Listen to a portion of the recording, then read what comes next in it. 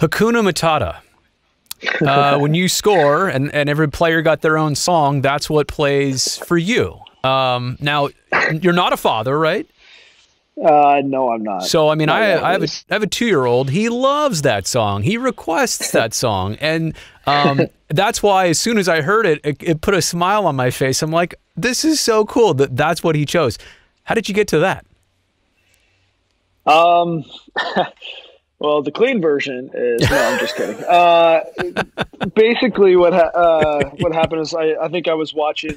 You know, I was watching Lion King, or um, I think the new one with um, Oh, the re like more like the redo. animated, The, yeah, that one. Yeah. uh, we were on the plane, we were playing cards, and then um, on the way for that, the bus ride to, um, what was it to Denver is like 45 minutes long. It's a, it's a pretty long hike Yes. to the airport. Yes.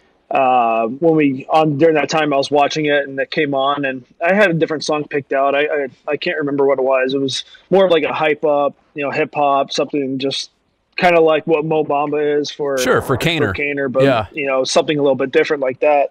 Um, that I think the crowd would like kind of get into a little bit, and that's kind of what it is: is to get the fans interactive with you and uh, to understand. Like whenever you score, everyone's like, "Oh, I can't wait for this song to go on or this song to play." And whenever it goes, like you get the whole crowd going. It's kind of like a, a European style, which is cool. And I, I was watching that, and I'm like, okay, I'm like, this is a little different. I don't know how people would react, but it, at least people would react to would react. Exactly. would either like it or they wouldn't like it. And you know, I I, I don't really care if someone if you like it, it's great. If Right. you don't, whatever. How But, could you not uh, like Hakuna Matata? That's like Yeah, and it's supposed to show like your that? personality. It's supposed to show your personality a little bit. Yeah.